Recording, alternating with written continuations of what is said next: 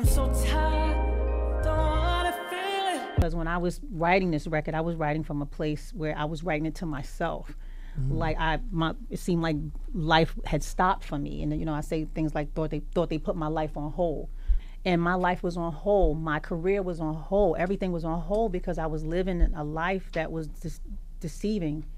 I, I thought I was w- with someone that I knew, and I wasn't. Mm-hmm. So my life was on hold. So I was You'd think because she's one of the biggest stars in the music and television world, that was an exaggeration. But it seems Diddy might have done quite a number on her. he became someone that I didn't know due mm-hmm. to greed, lust, power. I gave him way too much. I gave him so much power. I gave him While Blige seems to hold the perspective that he changed at some point, another one of his former artists says that's kind of who he's always been. He's selfish. He's a very selfish individual. He wants the spotlight on him. He wants to be a rapper.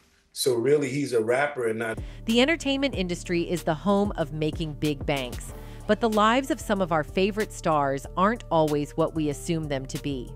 Take Mary J. Blige for starters. She is the tough matriarchal figure in power, and because of that, several people view her from that angle.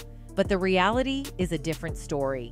Although she's doing much better right now, it seems her past might have been one hell of a roller coaster ride. Some might know, but now she seems to be using Diddy's recent predicament to relay the message louder. Now, beef is common in the industry, just as Drake and Kendrick Lamar currently seem to be engrossed. And just like their battle being with cryptic music lines, Blige seems to be using cryptic IG lines. Anyone from the 90s probably knows that Blige and Diddy go way back. In fact, you could even say she owes a large percentage of the notoriety she has today to Diddy giving her a platform to shoot off from years back. It's decades later, and we're starting to discover that giving her that platform might have come at a steep price she stayed silent about for years. Of course, anyone who's been remotely following the reports that have been getting out about Diddy probably knows this is the norm for him, as most of the artists who worked with him in the past have told a similar story. However, it appears Blige even had it worse than the others. In her case, it seems she didn't just get ripped off again, as is the alleged norm with Diddy, but she may have seen things that confirm the allegations currently being brought to the rap mogul's doorstep. His former bodyguards have hinted at it, rappers he signed in the past have outrightly confirmed it, and now it seems Blige might be the newest member in the exposing Diddy in real time showdown. Blige's fight goes beyond just her experiences with Diddy. The rapper come actress has also made allegations hinting at how Diddy might have played a role in some other unanswered crimes in the industry, specifically that of Aaliyah. know that that was a murder. You know what I'm saying? That was a spiritual whether people know it or not, because people. You know what I'm saying? Whether people know it or not. And um, I could go deep, but a lot of people, I would have to really If you ask me, all of this might be enough reason to gloat about Karma finally catching up to the rap executive. But take it from her and her long, tumultuous history with the man. I'm actually sitting here talking to Mary. She's sitting on the couch and shit, and we ordered some food and some more drinks. And somebody knocked on the window, knocked on the door. She ran and kind of damn near jumped behind the couch hiding. By now, you've probably heard that Diddy might be in some trouble. I know it's getting a little mundane at this point because the rapper is almost always in trouble, but it seems this might be the worst he's had it in a while.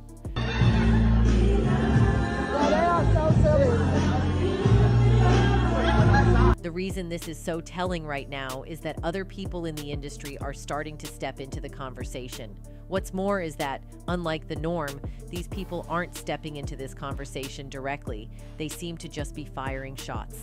Case in point, two women who were associated with Diddy during the prime of their careers, Faith Evans and Mary J. Blige, are appearing to gloat over Diddy's latest legal issues.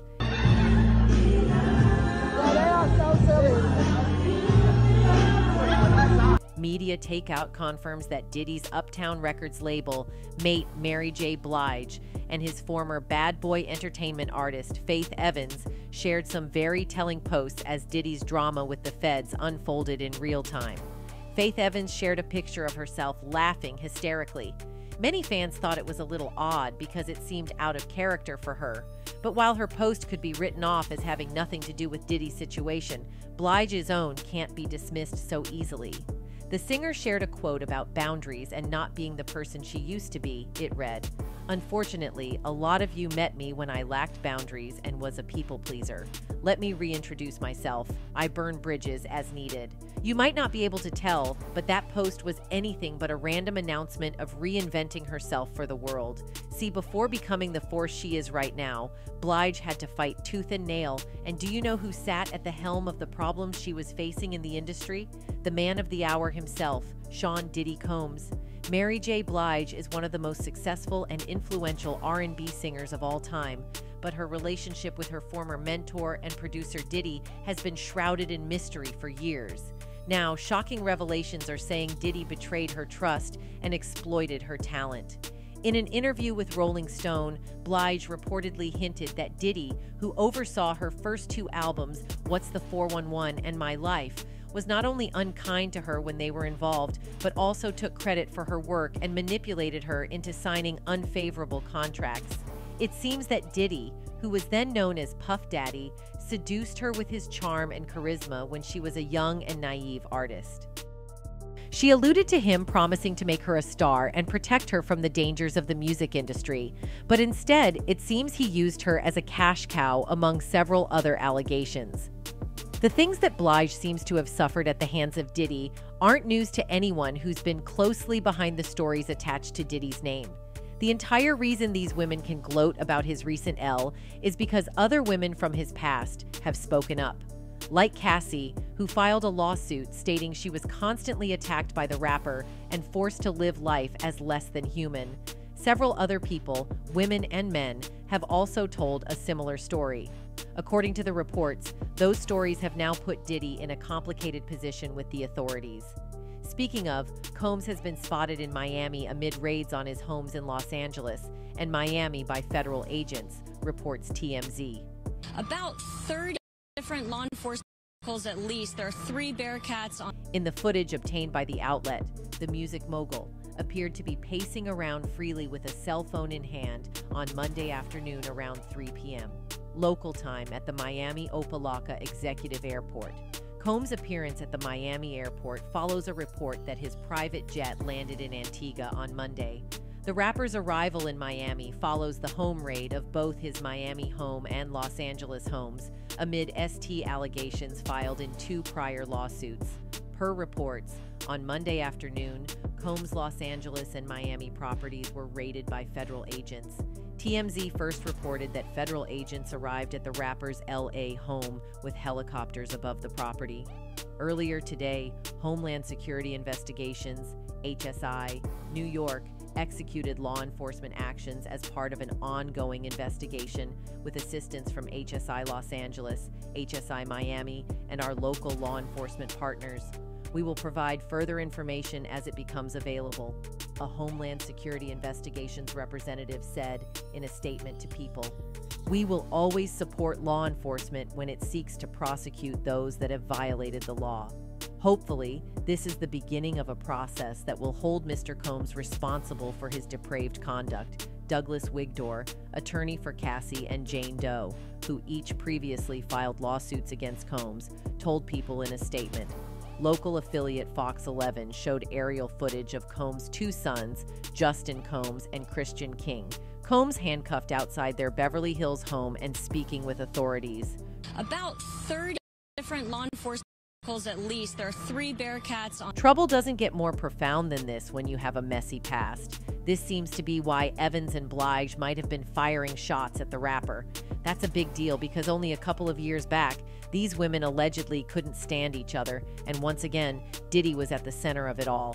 The alleged feud between the two iconic stars has caused quite a stir on social media, further fueling the controversies surrounding Mary J. Blige, Faith Evans, and Puffy Daddy. Wrong with People that. like we met each other. wrong with that? Puff hooked us up. He wanted me to help co-write on the album. You know, she was singing for years before I met her, so Rumors have indeed circulated suggesting that Mary J. Blige harbors animosity toward Faith Evans. These rumors allegedly claim that Mary sought revenge against Faith at Diddy's party. What's astonishing is that these rumors appear to have some basis in reality, given their long history dating back to the 1990s. Mary J. Blige and Faith Evans initially began their relationship as close friends. They started working together in the early 90s when Diddy signed Faith to his record label, Bad Boy Entertainment, and it's crazy to see how things have changed since then. Mary had this one-of-a-kind approach that mixed hip-hop and R&B like no one else. Her style was edgy, and her music had a raw, unapologetic quality. She didn't hold back with her lyrics and subject matter. When she entered the music scene, she brought a whole new level of energy that was truly unique. She just she she's herself, and nobody influences that. You know, nobody at all. Not career, not the higher person, nobody, and I really respect. Many people were stunned to know that Mary J. Blige and Faith Evans had a great bond. In Faith Evans' album Marriage Obliges in My Life, she had Mary J. Blige sang all the background vocals. They were really tight back then, and there are pictures on the internet showing them hanging out, having a good time, and maybe even enjoying some drinks and smokes. Now Mary J. Blige was a successful R&B singer. In the music industry, there's a common trend where if one artist becomes successful, the industry rushes to create its own version of that artist. It's all about making money, and labels are all about business. But you can imagine how frustrating this can be for the original artist. For instance, talk about Faith Evans. While she's different from Mary J. Blige in many ways, she was packaged and promoted in a similar way to Mary. Mary was signed to Uptown Records, and at the time, P. Diddy was also on the label. He helped produce Mary's first two albums. However, there was a falling out between Diddy and Mary, leading him to start his own label, Bad Boy Records. Here's where it gets tricky. Diddy introduced Faith Evans, an R&B singer, and made her follow Mary's exact blueprint for success. You can imagine that this didn't sit well with Mary, even though she and Faith initially got along and even collaborated on a few songs. Things got tense because they ended up in direct competition with each other, all thanks to the industry's desire to replicate success. Faith even released a song on her album called Love Don't Live Here Anymore, a Rolls Royce remix. But guess what? You can hardly find that song anywhere because, according to Faith, Mary's vocals were taken off the album. Something definitely went down between them because if you try to buy Faith Evans' first album, Marriage Obliges, you won't find that song on it anywhere. Faith said, At the time, the general manager of Bad Boy called me like six months after my album came out, like, Mary wants her voice off your album, so I just re recorded the record, which I hated without her on it. Yeah, on my first album, we Okay. did a song together um, called "Love Don't Live Here Anymore." Wow. And then at the time, the general manager, Bad Boy, called me like probably about six months after my album came out, like, "Mary wants her voice off your album. However, Mary had a different perspective on the whole situation. Mary said, That's not true. That's something I'm just hearing about, responded Blige. I love that song. I love the duet that we did. And every time I hear it, I'm like, well, what happened to my part? She further added, I know I didn't say anything about it. They lied to her. Time was Faith a little bit of a takeoff of what of what of how you were moving. Of course. But I always wanted to know what you thought. I I knew it from the outside. If you knew it from the outside, you know I knew it from the inside. Yeah, I, I Besides the fact that these women were working with him at a time when several people have alleged he was a monster and probably saw it for themselves, the timeline of their feud proves that the record producer may have pitted them against each other intentionally. Historically, this isn't something most people would put past Diddy, and that would explain them coming out to troll him for his recent media loss. According to fans, it seems Diddy may actually still have his claws sunk into her, even with all the stories going around.